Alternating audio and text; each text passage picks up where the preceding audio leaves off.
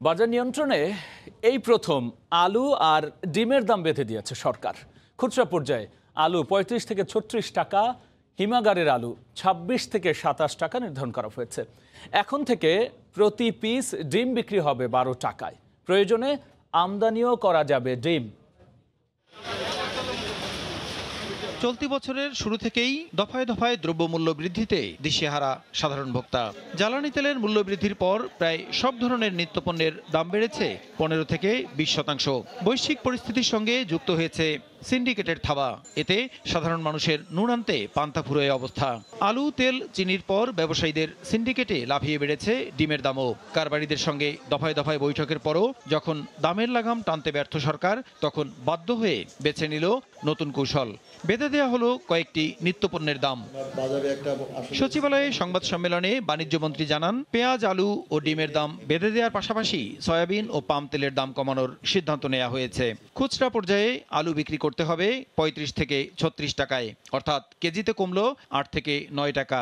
ডিমের দামে খুব একটা পার্থক্য না হলেও সয়াবিন তেলের দাম কেজিতে কমেছে পাঁচ টাকা। পঁয়ত্রিশ থেকে ছত্রিশ টাকা হতে হবে আলু। দেশি পেঁয়াজ সর্বোচ্চ বলে দিয়েছি চৌষট্টি। থেকে পঁয়ষট্টি টাকা। ডিমের ক্ষেত্রে খুচরা মূল্য বারো টাকা। সয়াবিন যেটা একশো চুয়াত্তর টাকা ছিল আরও পাঁচ টাকা কমিয়ে এটা একশো one sixty nine palm oil ছিল একশো আঠাশ টাকা সেটা চার টাকা কমিয়ে একশো চব্বিশ টাকা করা হয়েছে। এই সিদ্ধান্ত বাস্তবায়নে জেলা প্রশাসনকে নির্দেশ দেওয়ার কথা জানিয়ে বাণিজ্য মন্ত্রী বলেন সিদ্ধান্ত অমান্যকারীদের বিরুদ্ধে কঠোর ব্যবস্থা নেওয়া হবে। এই সিদ্ধান্ত বাস্তবায়নের জন্য আমাদের ভোক্তা অধিকার এবং আমাদের সরকারি ডিসি থেকে শুরু করে সর্বোচ্চ আমরা বাজার মনিটর করব। অল আউট অ্যাকশনে নামবো। আর কেউ দেখ- দেখা যায় যে যেমন মজুদ করে রেখেছে স্টোরেজের ব্যাপার যেটা নীতির বাইরে নিয়মের বাইরে সেটা ডিসিরা কিন্তু তারা আইনের খাতিরে তারা দেখতে এদিকে দুর্গাপুজো উপলক্ষে শুভেচ্ছা স্বরূপ ভারতের চাহিদা মতোই পাঁচ হাজার টন ইলিশ রপ্তানির লক্ষ্য নেওয়া হয়েছে বলেও জানান বাণিজ্য মন্ত্রী। শুধুমাত্র দুর্গাপূজার এই কয়দিনের জন্য একটা শুভেচ্ছা স্বরূপ দেওয়া হয় যেমন প্রসূন আশিস সময় সংবাদ। ঢাকা। শুধু দাম কমানোর ঘোষণা নয় বাজারেও নির্ধারিত দামের মধ্যেই পণ্য কিনতে চান উচ্চ মূল্যস্ফীতির ঘানি টানা ভোক্তারা। খুচরা বিক্রেতাদেরও একই কথা গোড়া থেকে দাম কমলে তারাও বিক্রি করতে পারবেন কম দামে। টানা কয়েক মাসের উচ্চ মূল্যস্ফীতি গত মাসে ঠেকেছে প্রায় দশ শতাংশে। বছর ব্যবধানে খাদ্যপণ্যে যা ছাড়িয়ে গেছে সাড়ে বারো শতাংশ। এমন চড়ামূল্যের বাজারে বাধ্য হয়ে হিসাবের খাতা কাটছাট করে ভোগ কমিয়ে ভোক্তারা মেটাচ্ছেন তাদের নিত্যদিনের চাহিদা। বাজার করতে আসলে আর কিছু থাকে না আমাদের মনে প্রত্যেকটা জিনিসের দামই বেশি। যেটা আমরা মনে করেন মাসে চার কেজি খাইতাম এখন আমরা দুই কেজি করে খাই। ক্রেতার এই কেনাকাটায় কিছুটা স্বস্তি দিতে বৃহস্পতিবার এক বৈঠকে বর্তমান বাজার মূল্যের চেয়ে আলু পেঁয়াজ ভোজ্য তেল ও ডিমের দাম বেশ খানিকটা কমিয়েছে সরকার। ঘোষিত দাম আর বাজার বাস্তবতার হিসাবে দেখা যাচ্ছে নির্ধারিত দাম বাজারে কার্যকর হলে এক কেজি পেঁয়াজে কমবে প্রায় বিশ টাকা আর আলুতে কমবে ছয় থেকে বারো টাকা। খানিকটা কমবে তেল ও ডিমের দাম। ভোক্তার চাওয়া এই ঘোষণা বাজারে কার্যকর করুক সরকার। বাজারে তো কোনো জিনিসের নিত্যপূর্ণ কোনো দাম কমে নাই তো। এক পাল্লা আপনার চারশো টাকা। মানুষের কাছে শুনি যে এই জিনিসের দাম কমছে ওই জিনিসের দাম কিনছে। কিন্তু যেহেতু আমরা ক্রেতা এই জিনিসের ক্রেতা হিসাবে কোনো এরকম সুফল আমরা দেখতে পাই না। বাজারে দাম কমানোর সহজ কৌশলও জানালেন বিক্রেতারা। উৎপাদন ও সরবরাহ ব্যবস্থার গোড়ায় হাত দিলেই কম দামে পণ্য পৌঁছাবে ভোক্তার হাতে। আমরা সরকারি বা- বাইদা দেওয়ার রেট হচ্ছে আগের থেকেই আরও দুই তিন দিন আগে থেকে কিছুটা কমে বিক্রি করতেছি আর কি। যে আরও থেকে আমরা পাইকারি ক্রয় করি সে আরোদের আমাদের ট্যাক্স আছে রসিদ আছে। আপনারা চাইলে যাচাই করতে পারেন। পড়ছে চুরাশি পাবনার কি? আর হাইব্রিড হলো বারোটা নিলে আর জানাবতি ষাট টাকা কেজি তিনশো টাকা ভালো বত্রিশ টাকা তো দিয়েছে এনে দিলে তো দাদা এনে কোনো ভয় আইব না। কেন এটা যাইতে হইব আপনি কলেস্টরে সরকার নির্ধারিত দামের বেশিতে এসব পণ্য বিক্রি করলে কঠোর শাস্তির মুখে পড়তে হবে বলেও বিক্রেতাদের হুঁশিয়ারি দিয়েছে বাণিজ্য মন্ত্রণালয়। কামরুল হাসান সবুজ সময় সংবাদ ঢাকা। এবার অন্য প্রসঙ্গ। দেশের উন্নয়ন যেন বিএনপি জামাত ক্ষমতায় এসে আবার নষ্ট করতে না পারে, সে বিষয়ে সজাগ থাকার আহ্বান জানিয়েছেন প্রধানমন্ত্রী শেখ হাসিনা।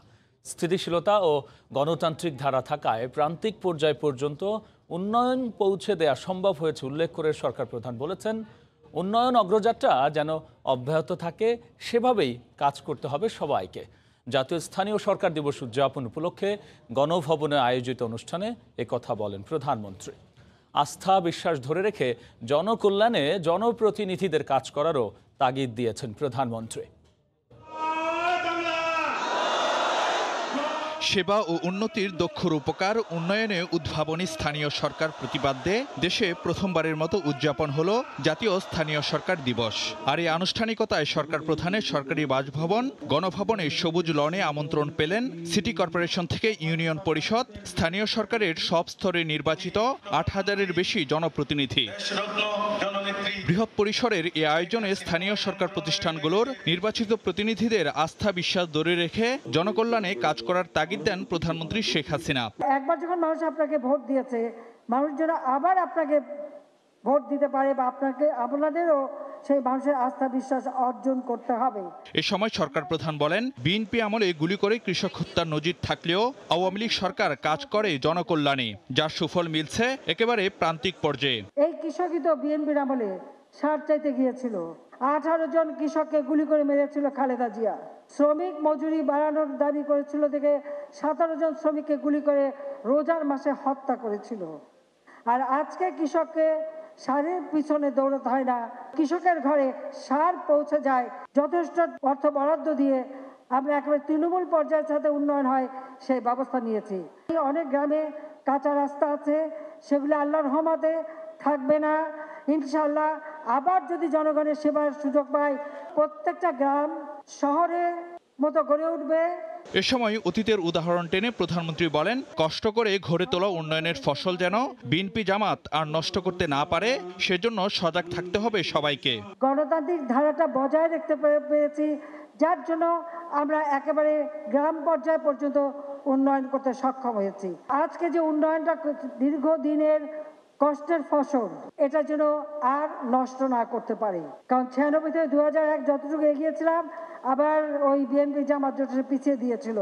দু নয় থেকে দু তেইশ বাংলাদেশের যে অগ্রযাত্রা এটা যেন অব্যাহত থাকে। অনুষ্ঠানে মাদক সন্ত্রাস ও জঙ্গিবাদের বিরুদ্ধে রুখে দাঁড়াতে জনপ্রতিনিধিদের তাগিদ দেন প্রধানমন্ত্রী। পাশাপাশি ডেঙ্গু প্রতিরোধে জোর দেন জনসচেতনতার উপর নিজের ঘর বাড়ি পরিষ্কার পরিচ্ছন্ন রাখবেন। ফারুক ভিয়া রবিন সময় সংবাদ ঢাকা। জাতিসংঘ সাধারণ পরিষদের অধিবেশনে যোগ দিতে সতেরোই সেপ্টেম্বর দেশ ছাড়বেন প্রধানমন্ত্রী। অধিবেশনে বক্তব্য রাখবেন বাইশ সেপ্টেম্বর। জাতিসংঘ সফরের আগে ব্রিফিংয়ে পররাষ্ট্রমন্ত্রী তথ্য জানান। এ সময় মন্ত্রী বলেন বিদেশে বাংলাদেশকে নিয়ে অপপ্রচার চালালে আমলে নেবে সরকার। এই অধিবেশনে যোগদানের জন্য মাননীয় প্রধানমন্ত্রীর নেতৃত্বে বাংলাদেশ প্রতিনিধি দল আগামী সতেরোই সেপ্টেম্বর তারিখে নিয়োগ পৌঁছাবেন।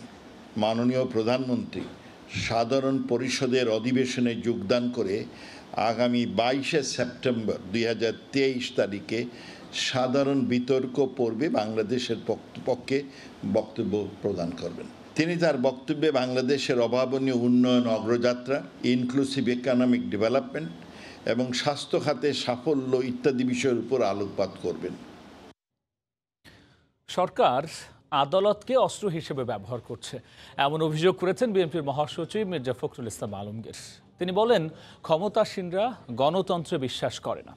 এদিকে আওয়ামী লীগের সভাপতি মণ্ডলীর সদস্য অ্যাডভোকেট কামরুল ইসলাম বলেছেন সরকারের উন্নয়ন অগ্রযাত্রা থামিয়ে দিতে একটি পক্ষ জনগণকে বিভ্রান্ত করার ষড়যন্ত্র করছে। সরকার বিরোধী আন্দোলনে বিগত কয়েক বছরে বিভিন্ন মামলায় গ্রেফতার আর সাজার ঘটনায় বরাবরই ক্ষমতাসীনদের দোষারোপ করে আসছে বিএনপি। তাদের অভিযোগ, বিচার বিভাগকে নিয়ন্ত্রণ করে বিরোধীদের নির্যাতন চালিয়েছে সরকার। বৃহস্পতিবার রাজধানীর একটি হোটেলে সেমিনারের আয়োজন করে ইউনাইটেড লয়ার্স ফ্রন্ট। অংশ নেন আইনজীবী ও সাবেক বিচারপতি ছাড়াও বিএনপির শীর্ষ নেতারা। দলটির স্থায়ী কমিটির সদস্য আমির খসরু মাহমুদ চৌধুরী অভিযোগ করেন, বর্তমান সরকার বিচার বিভাগের ঘাড়ে বন্দুক রেখে সবকিছু ধ্বংস করে দিয়েছে। বিষয়গুলো রাজনৈতিক সিদ্ধান্ত হওয়ার কথা ছিল সেগুলো কোর্টের কাঁধের উপর বন্দুক রেখে তারা কোর্টের মাধ্যমে দিয়েছে। উইপেন হিসাবে ইউজ করা হচ্ছে বিচার বিভাগকে। ইট ইজ এ উইপেন অনুষ্ঠানের প্রধান অতিথি বিএনপি মহাসচিব মির্জা ফখরুল ইসলাম আলমগীর বলেন বিচার ব্যবস্থাকে সরকার অস্ত্র হিসেবে ব্যবহার করে বিরোধী কর্মীদের নির্যাতন করছে। যথেষ্ট হয়েছে। যথেষ্ট ক্ষতি করেছ। এখন তুমি দয়া করে পত্রপাঠ বিদায় হও। জনগণের ভোটের মাধ্যমে জনগণের একটা পার্লামেন্ট জনগণের একটা সরকার তৈরি করো। যতই চেষ্টা করুক ওলট পালট বহু খাচ্ছে বহু চেষ্টা করছে সব দিক দিয়ে কিন্তু কোনো লাভ হবে না। এদিকে কেরানীগঞ্জে সিরাজনগর উচ্চ বিদ্যালয়ের নবনির্মিত ভবনের উদ্বোধনী অনুষ্ঠানে আওয়ামী লীগের সভাপতি মণ্ডলীর সদস্য অ্যাডভোকেট কামরুল ইসলাম অভিযোগ করেন বর্তমান সরকারের উন্নয়ন বাধাগ্রস্ত করতে একটি মহল ষড়যন্ত্র করছে। আমরা গণতান্ত্রিক পথে আমাদের যে যাত্রা সেই যাত্রাকে অব্যাহত রাখতে চাই। উন্নয়নের যাত্রাকে আমরা অব্যাহত অব্যাহত রাখতে চাই। এর বিরুদ্ধে যারা ষড়যন্ত্র করছে তাদের বিরুদ্ধে আমার তোমাদের প্রতি থাকবে তাদের বিরুদ্ধে ঘৃণা। সরকার বিরোধী যে কোনো তৎপরতা রুখতে দলের নেতাকর্মীরা প্রস্তুত বলেও জানান আওয়ামী লীগের এই নেতা। সকল সুযোগ আহমেদ সালেহিন সময় সংবাদ ঢাকা। এবার আগুনে পুড়ল রাজধানীর মোহাম্মদপুরের কৃষি মার্কেট। চোখের সামনে ব্যবসা প্রতিষ্ঠান ছাই হতে দেখে হতভম্ব দোকানিরা। ফায়ার সার্ভিস বলছে, বারবার নোটিশ দেয়া হলেও তা আমলে নেননি ব্যবসায়ীরা। প্রায় তিনশো কোটি টাকার ক্ষয়ক্ষতি হয়েছে বলে দাবি তাদের, নিবিড় শাহ রিপোর্ট।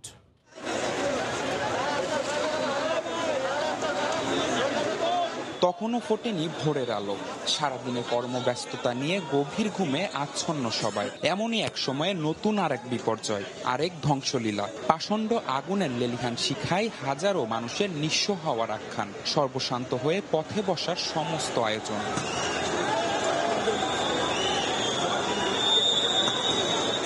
ঘড়ির কাটায় সময় তখন বৃহস্পতিবার ভোর পৌনে চারটা। হঠাৎই দাও দাও করে জ্বলে ওঠে রাজধানীর মোহাম্মদপুরের কৃষি মার্কেট।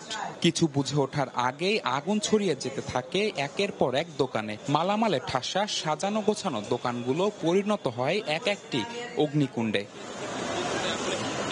প্রায় দশ মিনিটের মধ্যে আগুন নেভাতে ঘটনাস্থলে পৌঁছায় ফায়ার সার্ভিসের প্রথম ইউনিট। সর্বশক্তি নিয়ে ঝাঁপিয়ে পড়েন দমকল বাহিনীর সদস্যরা। তবে বিধিবাম, এ যেন আরেক বঙ্গবাজার অথবা নিউ মার্কেট, কেননা এখানেও পানি স্বল্পতার কারণে বাধার মুখে পড়তে হয় ফায়ার সার্ভিসকে। দমকল বাহিনীর পাশে ঢাল হয়ে আগুন নেভাতে অংশ নেয় সেনাবাহিনী, বিমান বাহিনী, পুলিশ, র্যাব ও বিজিবি সদস্যরাও। এরই মধ্যে আগুনের খবর ছড়িয়ে পড়ে ব্যবসায়ী মহলে। কারবারিরা একে একে ছুটে আসেন নিজ কর্মস্থলে। নিজেদের চোখের সামনে এত বড় ধ্বংসযজ্ঞ দেখে কান্নাই ভেঙে পড়েন অনেকেই। ভাই আমার ছোট দোকান। পঁচিশ লাখ টাকা ব্যাংকের ঋণ ভাই সব শেষ। ছাই হয়ে গেছে ভাই কেউ কেউ মালামাল সরিয়ে নিতে পারলেও বেশিরভাগ ব্যবসায়ীর চোখের সামনে প্রিয় প্রতিষ্ঠানের আগুনে পুড়ে ছাই হওয়া দৃশ্য দেখা ছাড়া কিছুই করার ছিল না। একটা সুতো বের করতে পারি নাই। আমার দোকানে প্রায় আপনার বিশ থেকে পঁচিশ লাখ টাকার মাল আছে। কেউ কিছু বাই করার মতন পরিস্থিতি ছিল না। মাল আনছিলাম পনেরো লাখ টাকার।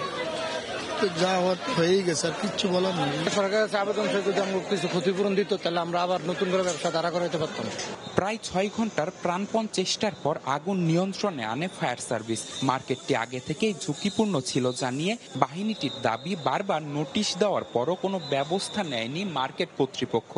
বিভিন্ন মুদির দোকান আছে ওই অংশ থেকে আগুনের সূত্রপাত। এটা শর্ট সার্কিট নাকি না কয়েলের আগুন অথবা কোনো সিগারেটের অথবা কেউ কি লাগিয়ে দিয়েছে এটা এই বিষয়গুলি আমরা তদন্তের মাধ্যমে আপনাদেরকে জানাতে পারব। আগুনে মার্কেটের তিনশো তেতাল্লিশটি দোকানের মধ্যে দুইশো সতেরোটি ক্ষতিগ্রস্ত হয়েছে বলে জানিয়েছে ঢাকা উত্তর সিটি কর্পোরেশন। আগুনের ঘটনায় পাঁচ সদস্যের তদন্ত কমিটি গঠনের কথা জানিয়েছে ঢাকা জেলা প্রশাসন।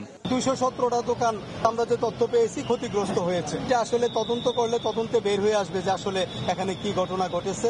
আমরা একটি বুথ খুলে আমরা ক্ষতিগ্রস্তদের তালিকা নিয়ে করতে পারি। এ ঘটনায় প্রায় তিনশো কোটি টাকার ক্ষয়ক্ষতি হয়েছে বলে দাবি মার্কেট সংশ্লিষ্টদের। প্রথমে বঙ্গবাজার তারপর নিউ মার্কেট। এরপর জ্বলন্ত চিতায় পরিণত হলো রাজধানীর এই কৃষি মার্কেট। আর কত আগুন জ্বললে টনক নড়বে সংশ্লিষ্টদের? এমনটাই প্রশ্ন সচেতন মহলের। নিবিড় সাহা সময় সংবাদ ঢাকা। এদিকে কথায় আছে স্বর্ণ পুড়ে হয় খাঁটি অথচ কয়েক ঘণ্টার আগুনে পুড়ে ছাই হয়ে গেল। যার পরিমাণ পঞ্চাশ কোটি টাকারও বেশি। আগুনের ঘটনায় এমন ক্ষয়ক্ষতি হয়েছে বলে দাবি জুয়েলারি মালিক সমিতির। আর ক্ষতিগ্রস্তদের পাশে থাকার আশ্বাস দিয়েছে বাজুস। এ যেন সোনালী স্বপ্নপুরার ধ্বংসস্তূপে আভিজাত্যময় গন্ধ খুঁজে ফেরা। সকাল সাড়ে নয়টার দিকে নিভানোর ঘোষণা দেওয়ার তিন ঘণ্টা পরও ধোয়া ও ছাই ভস্যে নিজের শক্তিমত্তার জানান দিচ্ছে আগুন, যার লেলিহানে পুরে খাঁটি না হয়ে ছাই হয়ে গেছে মোহাম্মদপুর কৃষি মার্কেটের অন্তত ষোলোটি স্বর্ণের দোকানের কয়েকশো ভরি স্বর্ণালঙ্কার। দোকান মালিকরা জানালেন, ভাগ্যপুরার খবর পেয়ে ছুটে এসেছেন ঠিকই, কিন্তু বাঁচাতে পারেননি। রুটি রুজির যোগান দেয় যে স্বর্ণলঙ্কর, তার বেশিরভাগ। আসতে লেট হওয়ার কারণে হয়তো বা ওই ওই দিকটা আগুনটা এইদিকে চলে আসছে।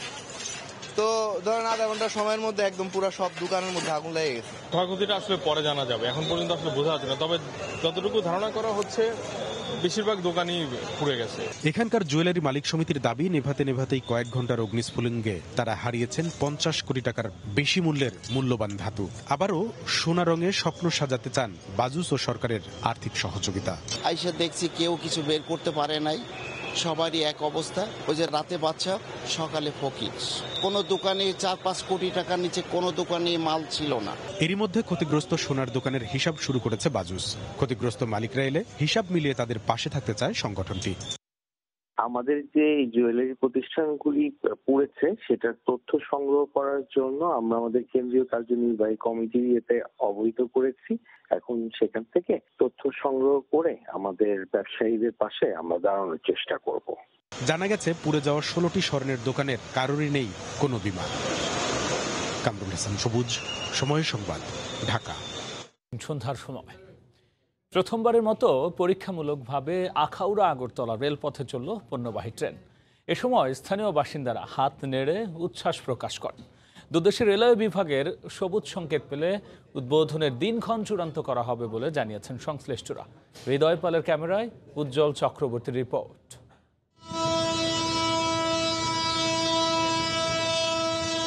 বাংলাদেশ ভারত স্থল যোগাযোগের নতুন দিগন্ত আখাউড়া আগরতলা রেলপথ। আগস্টের প্রথম সপ্তাহে শেষ হয়েছে নির্মাণ কাজ। এখন আনুষ্ঠানিক উদ্বোধনের অপেক্ষা। তবে তার আগেই পরীক্ষামূলকভাবে এই রেলপথে চলল পণ্যবাহী ট্রেন। বৃহস্পতিবার দুপুর সাড়ে বারোটার দিকে আখাউড়া গঙ্গাসাগর স্টেশন থেকে ছয় কিলোমিটারের বেশি পথ অতিক্রম করে পনেরো মিনিট পর ট্রেনটি পৌনে একটার দিকে ভারত বাংলাদেশ সীমান্তের শিবনগর এলাকায় পৌঁছায়। স্থানীয় বাসিন্দারা হাত নেড়ে ট্রেনের যাত্রীদের শুভেচ্ছা জানান। ইতিহাসে সাক্ষী হতে পেরে আবেগাপ্লুত ট্রেনের দুই চালকও। আমাদের গঙ্গাসাগর থেকে ইন্ডিয়া যেতে মাত্র দশ মিনিট সময় লাগবে। এটি সবচেয়ে বড় পাওয়া। এটা আমি কখনো স্বপ্নেও ভাবিনি যে আমি প্রথম এই রুটে ট্রেন পরিচালনা করব। বাণিজ্যিক ট্রেনের সফল ট্রায়াল সম্পন্ন হয় দুই দেশের রেলওয়ে কর্মকর্তারা ভারত বাংলাদেশের সীমান্তের শূন্যরেখায় বিজয়ের প্রতীক ভি চিহ্ন প্রদর্শন করে আনন্দ উচ্ছ্বাস প্রকাশ করেন তারা জানান ট্রেন চলাচলের জন্য সম্পূর্ণ প্রস্তুত এই রেলপথ দুদেশের রেলওয়ে বিভাগের সবুজ সংকেত পেলেই উদ্বোধনের দিনক্ষণ চূড়ান্ত করা হবে ট্রেন চলাচলের জন্য খুলে দেওয়ার জন্য উপযোগী কিনা আমরা দেখলাম যে হ্যাঁ ট্রেন ইনশাল্লাহ লাইনটা খুব ভালো হয়েছে ये ट्रैक अभी ट्रेन चलने के लिए पूरी तरीके से रेडी है और इसमें सभी का सपना पूरा हो रहा है বারো দশমিক বিশ কিলোমিটার রেলপথটির মধ্যে বাংলাদেশ অংশের ছয় দশমিক আটাত্তর কিলোমিটার সংশ্লিষ্টরা বলছেন পথটি চালু হলে ব্যবসা বাণিজ্যের পাশাপাশি যাত্রী পরিবহনের ক্ষেত্রে আসবে নতুন গতি। এমনটি মনে করছেন এই অঞ্চলের ব্যবসায়ী সহ সাধারণ মানুষ। উজ্জ্বল চক্রবর্তী, সময় সংবাদ, ব্রাহ্মণবাড়িয়া। যুক্তরাষ্ট্রের সরকার ব্যবস্থাকে অচল করতে বর্তমান প্রেসিডেন্টকে সরাতে চায় রিপাবলিকানরা বলে অভিযোগ করেছেন জো বাইডেন। অভিশংসন ইস্যুতে প্রথমবারের মতো এমন মন্তব্য করলেন তিনি। এদিকে বাইডেনকে ক্ষমতাচ্যুতের জন্য পেছন থেকে কলকাঠি নাড়ছেন ডোনাল্ড ট্রাম্প বলে খবর প্রকাশ করেছে নিউ ইয়র্ক টাইমস। যদিও বিষয়টি নিয়ে কোনো মন্তব্য করেননি সাবেক এই মার্কিন প্রেসিডেন্ট। মার্কিন রাজনীতিতে এখন উত্তাপ ছড়াচ্ছে প্রেসিডেন্ট জো বাইডেনের বিরুদ্ধে অভিশংসন ইস্যু দুর্নীতি ও ক্ষমতার অপব্যবহারের দায়ে তার বিরুদ্ধে আনুষ্ঠানিকভাবে তদন্ত শুরু হচ্ছে বলে জানান মার্কিন প্রতিনিধি পরিষদের স্পিকার ও রিপাবলিকান নেতা কেভিন ম্যাকার্থি। এরপরই দেশ জুড়ে আলোচনার কেন্দ্রে অভিশংসন issue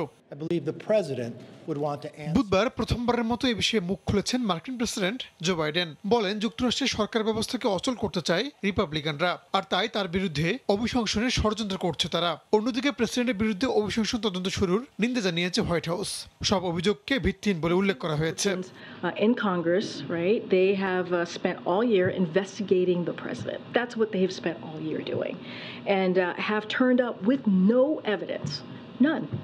He, that he did anything wrong.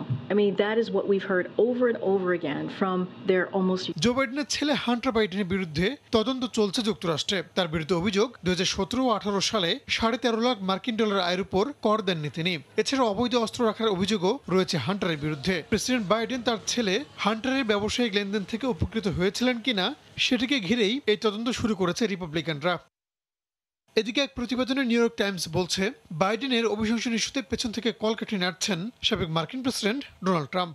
Republican পার্টির সম্মেলনে চেয়ারপারসনের দায়িত্বে থাকা এলিস স্টেফানিক সহ অন্য নেতাদের সঙ্গে আলাপচারিতায় ট্রাম্প বাইডেনের অভিশংসনের ব্যাপারে চাপ প্রয়োগ করতে বলেছেন বলে প্রতিবেদনে উল্লেখ করা হয়। যদিও এই প্রতিবেদন নিয়ে কোনো মন্তব্য করেননি ট্রাম্প। রাহানুল রানা, সময় সংবাদ। রুশ প্রেসিডেন্ট ভ্লাদিমির পুতিন এবং উত্তর কোরিয়ার সর্বোচ্চ নেতা কিম জং উনের বৈঠকে গুরুত্ব পেয়েছে সমরাস্ত্র, ইউক্রেন যুদ্ধ এবং স্যাটেলাইটের বিষয়টি। বৈঠকে নজর ছিল যুক্তরাষ্ট্র সহ পশ্চিমা বিশ্বের। রাশিয়া, উত্তর কোরিয়া কোনো অস্ত্র চুক্তি করলে যুক্তরাষ্ট্র কঠোর পদক্ষেপ নেবে বলে জানিয়েছে। জাতিসংঘ মহাসচিব অ্যান্তনিও গুতেরেস বলেছেন, নিরাপত্তা পরিষদের রেজুলেশন মেনে চলা অপরিহার্য। এদিকে, রাশিয়ার হাতে অস্ত্র তুলে না দিতে উত্তর কোরিয়ার প্রতি আহ্বান জানিয়েছে যুক্তরাজ্য। সব জল্পনার অবসান ঘটিয়ে গত মঙ্গলবার রাশিয়ায় যান উত্তর কোরিয়ার সর্বোচ্চ নেতা কিম জং উন বৈঠক করেন রুশ প্রেসিডেন্ট ভ্লাদিমির পুতিনের সঙ্গে। বুধবার তাদের আলোচনায় গুরুত্ব পায় সমরাস্ত্র, ইউক্রেন যুদ্ধ ও উত্তর কোরিয়ার স্যাটেলাইট কর্মসূচি। পশ্চিমাদের বিরুদ্ধে যে কোনো লড়াইয়ে রুশ প্রেসিডেন্ট ভ্লাদিমির পুতিনকে সমর্থন দেবে উত্তর কোরিয়া। আর উত্তর কোরিয়াকে স্যাটেলাইট তৈরিতে সব ধরনের সহায়তার আশ্বাস দেন রুশ প্রেসিডেন্ট। পুতিন এবং কিমের এই বৈঠক ঘিরে আগে থেকেই সতর্ক রয়েছে যুক্তরাষ্ট্র সহ পশ্চিমা বিশ্ব উত্তর কোরিয়ায় পারমাণবিক কর্মসূচির কারণে জাতিসংঘ যুক্তরাষ্ট্র সহ পশ্চিমা বিভিন্ন দেশের নিষেধাজ্ঞা রয়েছে এরপরও দেশটির সঙ্গে সামরিক সহযোগিতার কথা ভাবছে রাশিয়া আর এমন পদক্ষেপে বেজায় অসন্তুষ্ট যুক্তরাষ্ট্র হোয়াইট হাউসের মুখপাত্র জন কার্বি স্থানীয় সময় বুধবার জানান রাশিয়া উত্তর কোরিয়া কোনো অস্ত্র চুক্তি করলে যুক্তরাষ্ট্র কঠোর পদক্ষেপ নেবে Very, very closely. Uh, we'll see what the two sides say as a result of this. Um, Russia's war in Ukraine. No nation on the planet, nobody, should be helping Mr. Putin kill innocent Ukrainians. Um, and if they decide to move forward with some sort of arms deal, well, obviously we'll take we'll take the measure. কড়া বার্তা দিয়েছে জাতিসংঘ সংস্থাটির মহাসচিব Antonio Guterres বলেছেন উত্তর Korea নিরাপত্তা পরিষদের রেজুলেশন লঙ্ঘন করেছে উত্তর কোরিয়ার সঙ্গে যে কোনো দেশের যে কোনো ধরনের সহযোগিতার ক্ষেত্রে অবশ্যই নিরাপত্তা পরিষদের আরোপিত নিষেধাজ্ঞাকে মানতে হবে বলেও জোর দেন আন্তনিও গুতেরেস এদিকে পুতিন কিম বৈঠকের পর উত্তর কোরিয়ার প্রতি যুক্তরাজ্য আহ্বান জানিয়েছে, তারা যেন রাশিয়ার হাতে অস্ত্র তুলে না দেয়। উত্তর কোরিয়ার কাছ থেকে রাশিয়া অস্ত্র কিনলে দুদেশের ওপর পশ্চিমা নিষেধাজ্ঞা আসতে পারে। তবে কিম জং উন অথবা ভ্লাদিমির পুতিন কেউই সেই নিষেধাজ্ঞার তোয়াক্কা করবেন কিনা তা নিয়ে সন্দেহ রয়েছে। হাফসাতুন্নেসা সময় সংবাদ। আগামী ছয় নভেম্বর পাকিস্তানের সাধারণ নির্বাচন আয়োজনের প্রস্তাব দিয়েছেন দেশটির প্রেসিডেন্ট আরিফ আলভি বুধবার দেশটির প্রধান নির্বাচন কমিশনারকে এই প্রস্তাব দিয়ে একটি চিঠি লিখেছেন তিনি। এদিকে গোপন কূটনৈতিক তার বার্তা ফাঁসের মামলায় ইমরান খানের রিমান্ডের মেয়াদ ছাব্বিশ সেপ্টেম্বর পর্যন্ত বাড়ানো হয়েছে। পাকিস্তানের তত্ত্বাবধায়ক সরকারের প্রধান হিসেবে আনোয়ারুল হক কাকার দায়িত্ব নেয়ার পর এখনও নির্বাচনের তারিখ নির্দিষ্ট হয়নি। তবে আগামী ছয় নভেম্বর দেশটিতে সাধারণ নির্বাচন আয়োজনের প্রস্তাব দিয়েছেন পাকিস্তানের প্রেসিডেন্ট আরিফ আলভি। বুধবার দেশটির প্রধান নির্বাচন কমিশনার সিকান্দার সুলতান রাজাকে একটি চিঠি লিখেছেন তিনি। প্রেসিডেন্ট আলভি সাংবিধানিক বাধ্যবাধকতা মেনে আগামী ছয় নভেম্বর সাধারণ নির্বাচন আয়োজনের জন্য সিইসিকে এই চিঠি লিখেছেন বলে জানিয়েছেন। জাতীয় পরিষদ ভেঙে দেওয়ার উননব্বইতম দিন আগামী ছয় নভেম্বর। সেদিন নির্বাচন আয়োজন করলে সংবিধানের ব্যত্যয় হবে না বলেও চিঠিতে লিখেছেন আলভি। জাতীয় পরিষদ ভেঙে দেওয়ার পরবর্তী নব্বই দিনের মধ্যে সাধারণ নির্বাচন আয়োজনের কথা পাকিস্তানের সংবিধানে বলা আছে। সংবিধান অনুযায়ী নির্বাচনের তারিখ নির্ধারণের ক্ষমতা প্রেসিডেন্টকে দেওয়া হয়েছে। এদিকে পাকিস্তানের সাবেক প্রধানমন্ত্রী ইমরান খানের আইনজীবী বুধবার জানিয়েছেন, ইমরান খানের কারাবাসের মেয়াদ দুই সপ্তাহ বাড়ানো হয়েছে। তাকে ছাব্বিশ সেপ্টেম্বর পর্যন্ত কারাগারে থাকতে হবে। গোপন কূটনৈতিক তারবার্তা ফাঁসের মামলায় এখন তিনি আটক রয়েছেন। রাষ্ট্রীয় উপহার কেনাবেচা সংক্রান্ত তোষাখানা দুর্নীতি মামলায় পাঁচ আগস্ট পাকিস্তানের সাবেক প্রধানমন্ত্রী ইমরান খানকে তিন বছরের কারাদণ্ড দেন ইসলামাবাদের আদালত। লাহোরের জামান পার্কের বাসা থেকে ইমরান খানকে গ্রেফতার করে অ্যাটক কারাগারে পাঠানো হয়। ইমরানকে দেয়া সাজা উনত্রিশে আগস্ট স্থগিত করেন ইসলামাবাদ ইসলামাবাদ হাইকোর্ট। এরপরও তার বার্তা ফাঁসের মামলায় আটক রয়েছেন পাকিস্তানের সাবেক এ প্রধানমন্ত্রী। মামলার কারণে পাকিস্তানের আসন্ন নির্বাচনে কারাবন্দী ইমরানের অংশ নেওয়া নিয়েও অনিশ্চয়তা দেখা দিয়েছে। তবে তার দল পিটিআই এর নির্বাচনে অংশ নিতে বাধা নেই। দেশটির একটি রাষ্ট্রীয় টিভি চ্যানেলে দেয়া সাক্ষাৎকারে এ বিষয়ে জানান পাকিস্তানের তত্ত্বাবধায়ক সরকার প্রধান আনোয়ারুল হক কাকার। হাফসাতুন্নেসা সময় সংবাদ।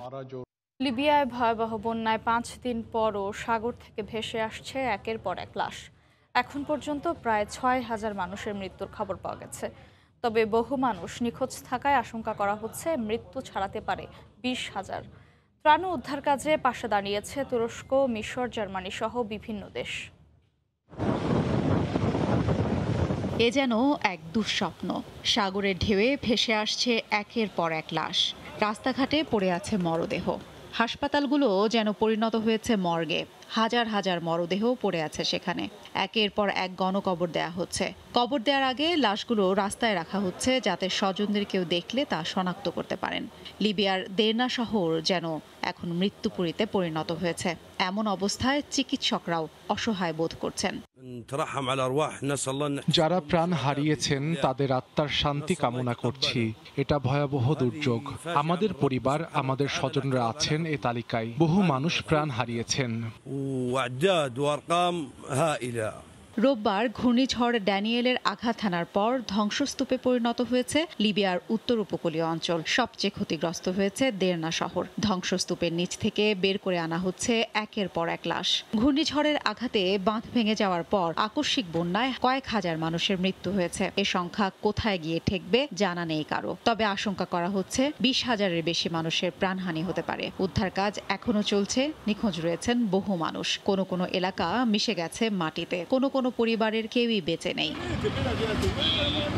এ ধরনের বিপর্যয় মোকাবিলা করার অভিজ্ঞতা লিবিয়ার নেই। দেশটির এমন বিপদে সাহায্যের হাত বাড়িয়ে দিয়েছে বিশ্বের বিভিন্ন দেশ। জার্মানি, মিশর, তুরস্ক, আলজেরিয়া, তিউনিশিয়া সহ বিভিন্ন দেশের বিমান, চিকিৎসক, চিকিৎসা সরঞ্জাম, ওষুধ, খাদ্য ও তাঁবু সহ নানা রকম ত্রাণ নিয়ে লিবিয়ায় অবতরণ করেছে। বিভিন্ন দেশের উদ্ধার কর্মীরা উদ্ধার কাজে সাহায্য করছেন। এছাড়াও দেশটির সাধারণ মানুষও নিজ নিজ উদ্যোগে সাহায্যের হাত বাড়িয়ে দিয়েছেন